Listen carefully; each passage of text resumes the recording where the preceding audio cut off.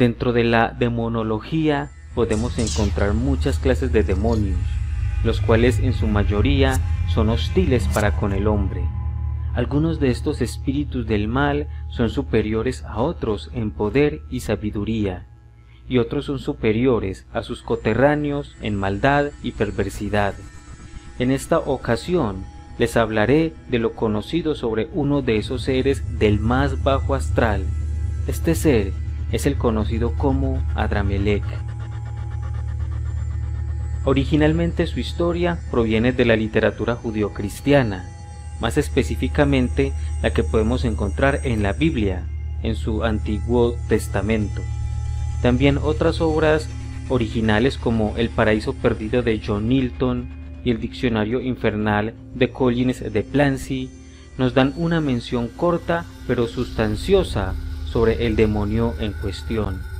Inicialmente comenzaré por citar lo que nos aporta la Biblia con respecto a esta criatura demoníaca. Esto lo podemos encontrar en la Biblia, en el libro 2 de Reyes, en el capítulo 7, verso 30. El fragmento en cuestión se los menciono de la siguiente manera literal. Los naturales de Babilonia fabricaron a Sukkot Benot, los de Kut fabricaron a Nergal, los de Amad fabricaron a Nibas y Tartak. En cuanto a los de Sefarwajin, quemaban a sus hijos en el fuego, en honor de Adramelech y Anamelech, dioses de Sefarwajin. Este breve trozo de texto es el origen de la existencia de la figura de Adramelech dentro de la demonología actual y nos revela datos importantes con respecto a esta divinidad pagana y oriental. El texto, en torno al relato bíblico del capítulo 17, nos menciona como hacia el año 722 a.C., un rey asirio llamado Salmanásar tomó por la fuerza al llamado reino de Israel del norte, el cual estaba establecido en las tierras de Samaria, y deportó sus treinta mil pobladores israelitas a Siria, a las ciudades de Elá y Abor. Samaria, por lo tanto, quedó despoblada.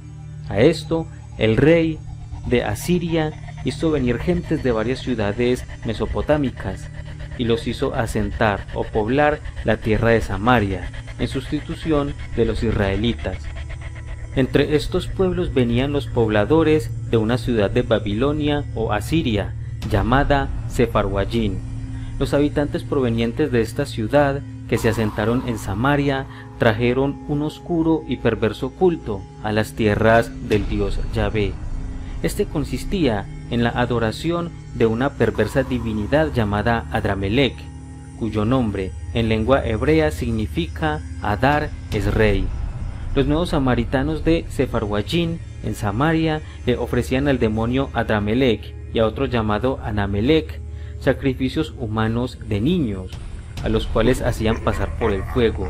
Los quemaban en honor y como alimento para las dos oscuras divinidades. Esta referencia bíblica convirtió a la terrible divinidad pagana mesopotámica en un oscuro ente demoníaco judio-cristiano, y por tal podemos encontrar otras informaciones con respecto a este espíritu del bajo astral, como por ejemplo, en una obra poética llamada El paraíso perdido, compuesta por el poeta y ensayista inglés llamado John Milton, en 1667. Esta obra nos da una pequeña mención ocultista con respecto a Adramelech, esta mención se las narro de la siguiente manera literal. Rafael y Uriel, a sus contrarios inmensos y con armas diamantinas, los vencen, a Asmadai y Adramelech, dos tronos, que ser menos que los dioses desdeñan, mas son menos al huir a través de sus mallas laceradas. Básicamente, este fragmento de texto pertenece a un relato que nos habla de una batalla entre ángeles y demonios, donde los arcángeles Rafael y Uriel en batalla vencen a los demonios Asmadai, también conocido como Asmodeo y Adramelech, los cuales al parecer antes fueron seres angélicos pertenecientes a la jerarquía angelical tipo tronos, pero luego se volvieron rebeldes y pasaron a engrosar el oscuro grupo de los ángeles caídos. Otra mención la podemos encontrar en una obra conocida como Diccionario Infernal, publicada por el ocultista y demonólogo francés llamado Jacques Augusto Simon Collins de Plancy en el año 1842.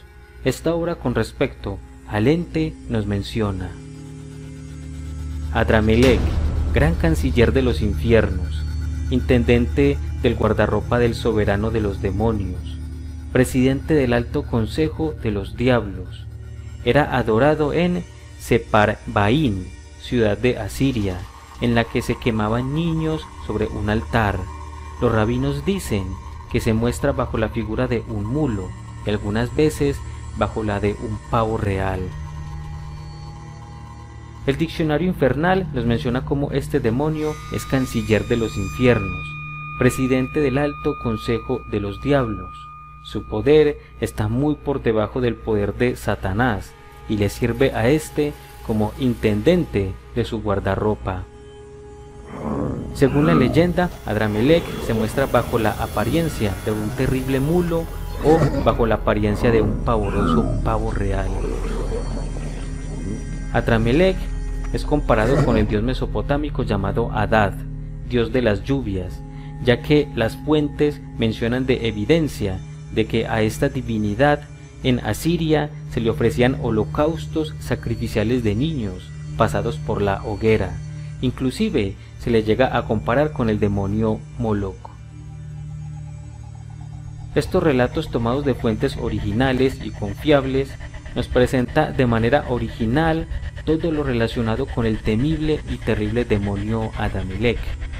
Pero existen otros diccionarios esotéricos que nos pueden aportar un poco de información más.